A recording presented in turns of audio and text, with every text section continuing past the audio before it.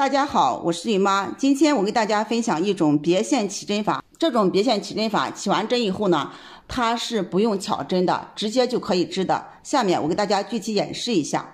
我们用钩针和棒针或者是环形针来完成。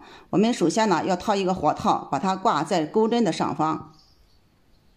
接下来把钩针搭在棒针上，我们这样把线呢从后向前这样绕过来，啊，钩一针。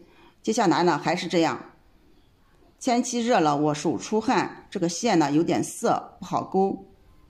就这样，一针的一针的勾过来。你们需要多少针呢？就这样呢，在棒针上边呢勾几个线圈。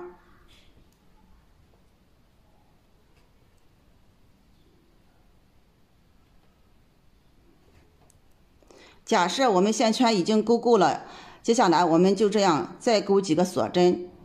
把线断掉，这边呢就作为一个记号，我们拆的时候呢就从这边拆。我这里演示就不断线了。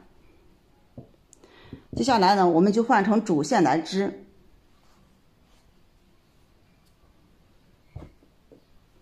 假设这个红颜色它是主线，我们这样一针一针的织过去。